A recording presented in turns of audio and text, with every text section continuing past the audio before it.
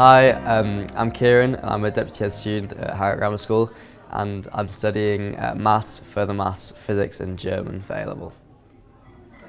After sixth form, uh, this year I'm applying to study in America so hopefully I'm accepted there and I'll be studying aerospace engineering. Um, yeah, my experience has been great at sixth form. It's definitely a big step up from GCSE, um, but with that comes more freedom to organise your time and allow yourself to do other things outside of school. The advice I'd give to students during sixth form is definitely to make sure you organise your time well coming into sixth form because it'll give you more free time outside of school if you're able to do some of your classwork and homework um, in free periods, for example. Um, as well, if you're new joining the school, um, just use the spaces we have available to um, make friends. It's really easy, um, but uh, yeah. Yeah, I found the uh, culture to be um, quite collaborative at school. Um, I spent a lot of time discussing problems and um, homework questions with my with my classmates, um, and I've found that's really allowed me to um, uh, further my studies by just um, getting help from them and being able to help them. It makes you really understand your subject at a deeper level.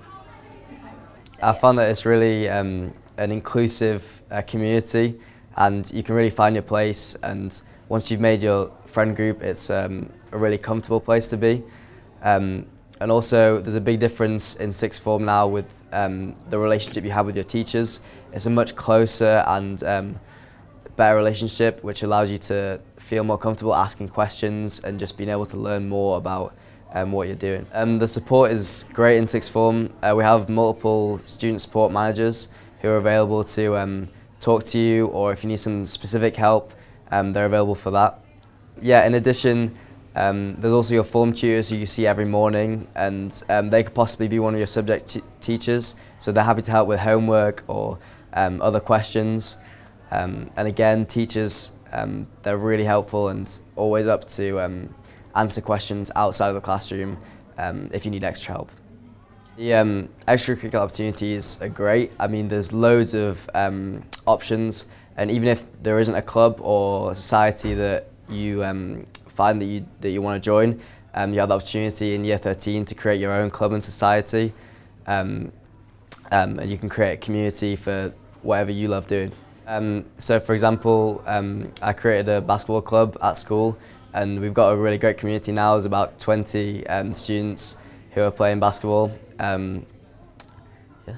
Uh, um, in addition, the uh, leadership opportunities are great. Um, in year 12, you get the opportunity to become a prefect and a subject representative, as well as join the student leadership team um, at the end of year 12. And all these processes have um, applications that um, give you a really good experience of what it's like to, to gain a leadership position um, for furthering your career in and out of school.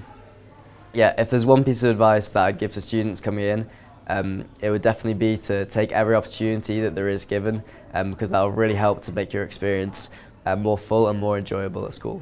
The sixth form at Harrogate Grammar School was definitely the right choice for me.